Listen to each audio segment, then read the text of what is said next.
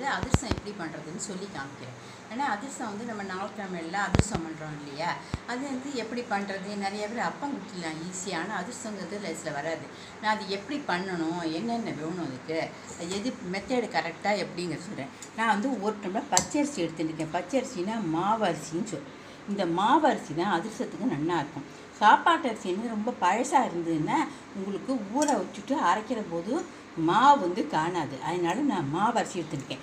இதை வந்து இந்த ஏனத்தில் போட்டு கிட்டத்தட்ட ஒரு அரை மணி நேரம் இது நாற்பது நிமிஷம் ஊற வைங்க.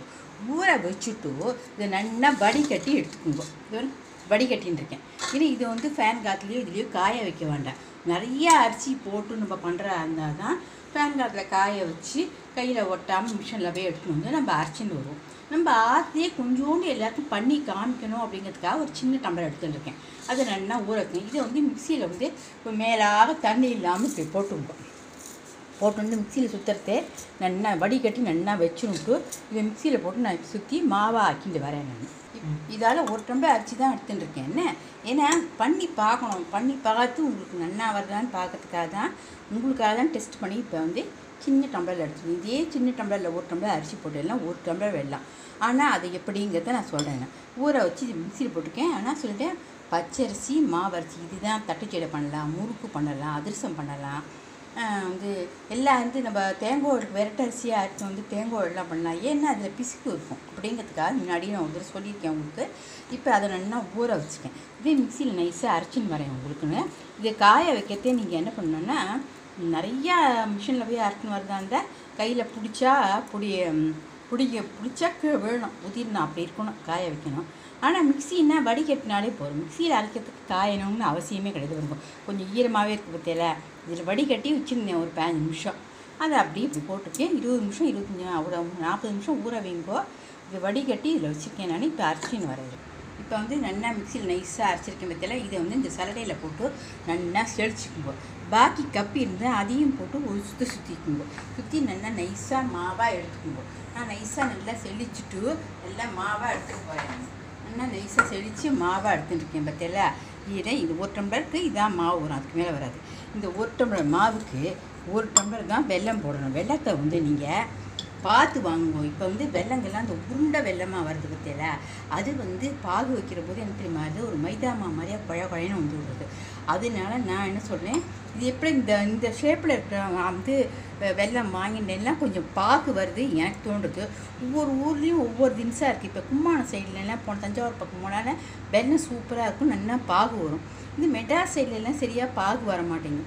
அதனால் வெள்ளத்தை முதல்ல டெஸ்ட்டு பண்ணி பார்த்துட்டு வாங்க. கொஞ்சோண்டு வெள்ளத்தை நெசுக்கி போட்டு பாகு வருதான்னு பார்த்துட்டு அதுக்கப்புறம் நீங்கள் அதிர்ஷ்டம் பண்ணுங்க.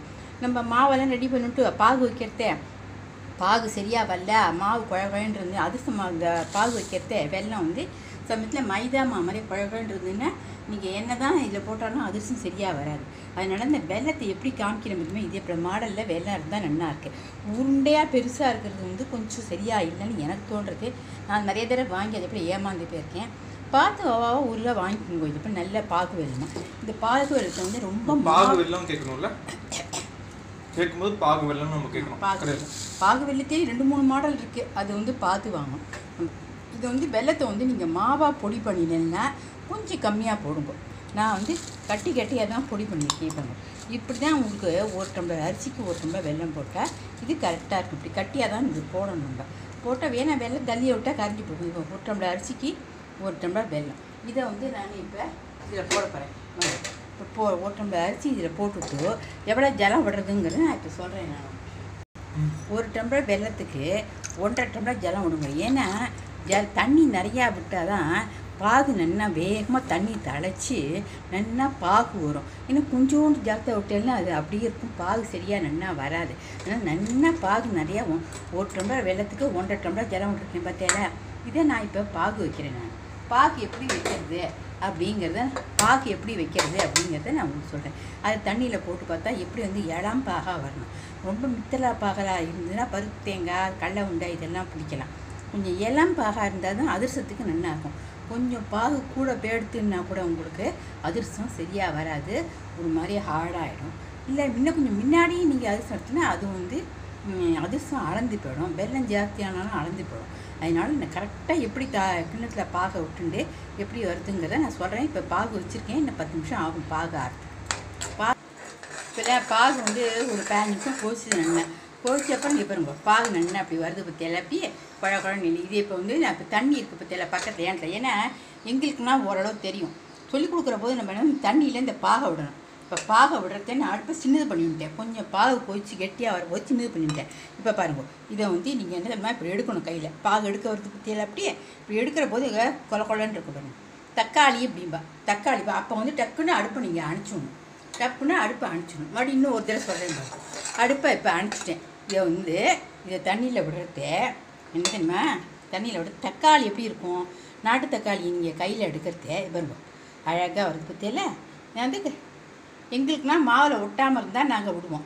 இப்போ எப்படி இருக்கணும் கையில் நல்லா உருட்ட வரணும். பார்க்கறதுக்கு எப்படி இருக்கு பற்றியா குழ குழன்னு. அது அமுங்கினா அமுங்கணும் அது எப்படி இருக்கணும்? கையில் உருட்ட வருது பற்றியில நல்லா அப்படி வருது பற்றியில கையில் வருது பற்றியில அழகாக வச்சுட்டுருக்கேன் இதை இப்போ வரும்போது நான் இதுக்கு வரும்போதே டக்குன்னு உடனே அடுப்பை அணைச்சிட்டு பாகை எடுத்து நம்ம கீழே வச்சுடணும். கீழே வச்சுட்டு ஏன்னா அடுப்பில் இருந்தால் பாகு முத்தி போயிடும். இதை எடுத்து கீழே வச்சுட்டு இப்படி இந்த மாவில் இப்போ மாவை தூக்கி பாகில் போட்டுறாங்க ஏன்னா ஒருத்தமே வெள்ளை கூட இருந்ததுன்னா வந்து அளந்து போயிடும். அதனால மாவில் தான் கொஞ்சம் கொஞ்சமாக இந்த பாகை விடணும் அப்படி. பாகில் விடுறேன் பற்றியில மாவில் கொஞ்சம் கொஞ்சமாக பாகை விட்டு கலரணும். அப்படி துளி பாகு மீந்துன்னா நம்ம வேர்க்கடலை எதையாவது அதில் போட்டுக்கலாம். நம்ம பொட்டுக்கல்லையோ வேர்க்கல்லையோ போட்டு உண்டை பிடிச்சிக்கலாம். கரெக்டாக தான் இருக்கும். ஒரு டம்ளர் மாவுக்கு அந்த ஒரு டம்ளர் வெள்ளம் கரெக்டாக வரும். ஒரு டம்ளர் மாவு போட்டேன். நல்லா செழிச்சு வந்தது இல்லையா? இப்போ பாகு விட்டேன் பாருங்க. எனக்கு பாகே இல்லை பாருங்க. கரெக்டாக இருக்குது பாருங்க. ஆனால் எனக்கு இப்போ சப்போஸ் மீந்தி போய் எடுத்து உங்களுக்கு பயமாக இருந்ததுன்னா பாகு வந்து இப்போ ஓட ஓட விடக்கூடாது. இப்போ இது வந்து எனக்கு தெரியுமா அந்த பாகு என்ன தெரியுமா இப்படி இருக்கணும்? இது வந்து ஆறுன அப்புறம் என்ன தெரியுமா ஆறுனா நல்லா கெட்டியாகிடும் இங்கே பாருங்க. இப்போ கொஞ்சம் கொல இருக்கேன்னு நினைக்காதீங்கோ. கொஞ்சம் ஆறுன அப்புறம் பார்த்தா நல்லா ஹார்டாக ஆகிடும் என்ன? ஆ- அதுக்கப்புறம் நீங்கள் ஊற வச்சுட்டு இந்த ஆறுமே அதிர்சம் தட்டிக்கலாம். அந்த பாகு உருண்டுறப்ப தான் கரெக்டாக இருந்ததுன்னா கரெக்டாக இருக்கும். இது நின்று ஆறுனப்புறம் பார்த்தீங்கன்னா கெட்டியாகிடும் நான் எப்படி கெட்டியாக இருக்குங்கிறத நான் சொல்கிறேன் நான் இது நல்லா கெட்டியாக இருக்குது பாரு இப்படி கெட்டியாக ஆகணும் அப்படி. அதுக்கு வந்து இப்போ உடனே பார்த்தா அப்படி தெரியாது. நல்லா ஆற ஆற ஆற ஒரு கிட்டத்தட்ட இப்போ வந்து நம்ம வந்து ஒரு பத்து மணிக்கு நம்ம கலர்றோம்னா சில சமயத்து தவ திடீர்னு ஒரு தவசம் திடீர்னு விசேஷ நாளில் டபாரம் உடனே அரிசி இருந்தால் நீங்கள் என்ன பண்ணால் இன்னும் கொஞ்சம் பாக கம்மியாக விட்டுருங்க. இப்போ நான் ஊறத்துக்காக வச்சுருக்கேன் கொஞ்சம் கூட விட்டேன். ஆனால் இது வந்து இது பாரிதும் நல்லா கெட்டியாக இது எப்படி கெட்டியாகிடும் கெட்டியாகிடும் நீங்கள் வந்து என்ன தெரியுமா கொஞ்சோண்டு போட்டு பண்ணி பார்த்துட்டு நல்லா வந்ததுன்னா அதுக்கப்புறம் நிறையா பண்ணுவோம் நீங்கள் இந்த அதிர்ஷ்டத்தை தட்டி பாருங்க. ஏன்னா எல்லாருக்கும் ஈஸி தெரியணும் அப்படிங்கிறதுக்காக நான் பண்ணேன். இது எப்படிலாம் பண்ணி பாருங்க. இது எப்படிலாம் அதிர்ஷ்டமாக கெட்டியாகிடும் கொஞ்சம் நாள். தக்காளி பாகு தான் வச்சுக்கணும். நான் உங்களுக்கு காமிச்சிருக்கேன். அதை எப்படி பண்ணிவிட்டு இதை பண்ணி பாருங்க. எப்படி இருக்குன்னு பாருங்க. சுட்டு மேலே நெய்யை விட்டுக்குங்க.